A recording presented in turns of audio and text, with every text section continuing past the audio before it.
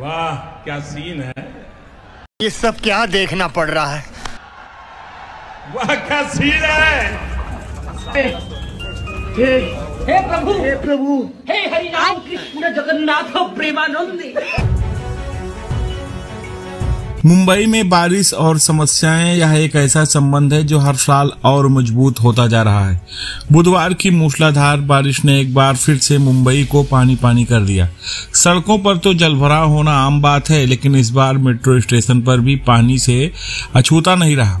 जी हाँ Jogeshwari metro station की छत गिरते झरनों ने यात्रियों को एक नया अनुभव दिया है। इस अनूठी घटना का वीडियो सोशल मीडिया पर वायरल हुआ, जिसमें छत से पानी झरने की तरह गिरता हुआ दिखाई दे रहा है।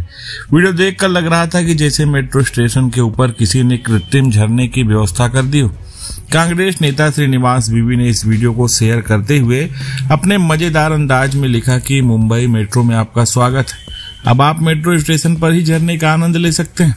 इस खास परियोजना का शुभारंभ वर्ष 2023 में महामानव नरेंद्र मोदी ने किया था। अब भला सोशल मीडिया पर यूज़र्स कहाँ चुप रहने वाले थे? सचिन नाम के यूज़र ने इस पर कटाक्ष करते हुए लिखा, मेट्रो में झरने की सुविधा मुहैया कराने के लिए उस महामानव का आभार। मुंबई मेट्रो का नया झरना अनुभव यात्रियों के लिए बिल्कुल मुफ़्त था। सोचिए कितना अद्भुत होगा वह नज़ारा जब लोग मेट्रो स्टेशन पर खड़े होकर ट्रेन का इंतज़ार कर रहे हैं और अचानक छत से ठंडी ठंडी बौछारें गिरने लगे। किसी स्विमिंग पूल या वाटर पार्क सा एहसास हो जाए, मेट्रो टिकट में अब झरने की मुफ़्त सेवा भी शामिल है। ऐसा सोचकर शायद यात्री कुछ समय के लिए परेशानियों को भूल जाएँ, लेकिन मज़ाक अपनी जगह या घटना मुंबई मेट्रो और उनकी तैयारियों पर गंभीर सवाल खड़े करती है। क्या सच में यह हाईटेक मेट्रो सिस्टम बारिश के कुछ घंटों तक भी टिक नहीं सकता? यह मेट्रो स्टेशन किसी वाटर पार्क की तरह तो नहीं बनाया गया था।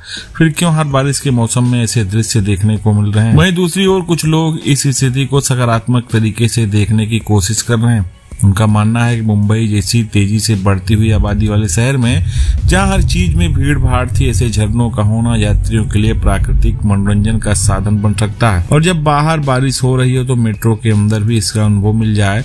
भला इससे बढ़िया और क्या हो सकता है? वैसे अगर मेट्रो स्टेशन पर इंडोर रेन डांस का आयोजन शुरू कर दिया जाए तो शायद यह नया आकर्षण बन जाए।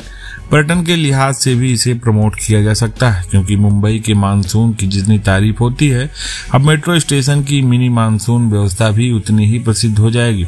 इस पूरे घटनाक्रम से यह निष्कर्ष निकलता है कि मुंबई मेट्रो अब सिर्फ़ सफ़र करने का माध्यम नहीं रहा, बल्कि एक ऐसा रोमांचक अनुभव बन गया है, जो सफ़र के साथ झरने का मज़ा भी दे रहा है। फ़िलहाल दोस्तों, वायरल हो रही इस घटना पर आपकी क्या राय है? आप अपनी राय रखें, कमेंट सेक्शन में अपनी राय साझा कर सकते हैं। वीडियो देखने के लिए बहुत बहुत धन्यवाद।